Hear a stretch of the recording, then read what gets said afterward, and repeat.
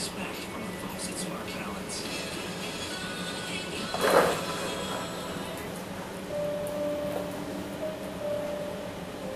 With depression, simple pleasures can simply hurt. The sadness, anxiety, the loss of interest, the aches and pains and fatigue. Depression hurts. Cymbalta can help.